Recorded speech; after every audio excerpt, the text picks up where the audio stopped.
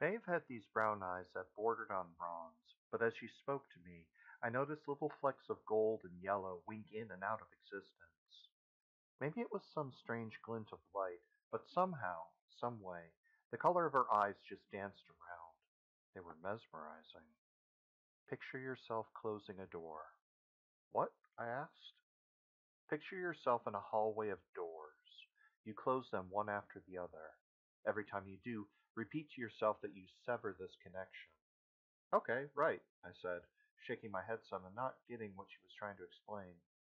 You have to focus on this completely. You can't be distracted, and it's going to take all of your damn focus and willpower. That thing hijacked you, doing Lord knows what in your body, and you can't remember a damn thing. The Light Rail by Joseph McEvoy. Available for purchase on Kindle and Amazon Direct.